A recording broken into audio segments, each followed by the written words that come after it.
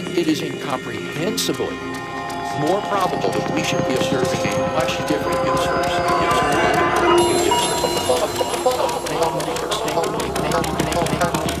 universe